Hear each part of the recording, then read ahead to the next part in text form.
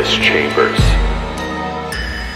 And strange and frightening sounds echo through the halls. Whenever candle lights flicker where the air is deathly still, that is the time when ghosts are present, practicing their terror with ghoulish delight.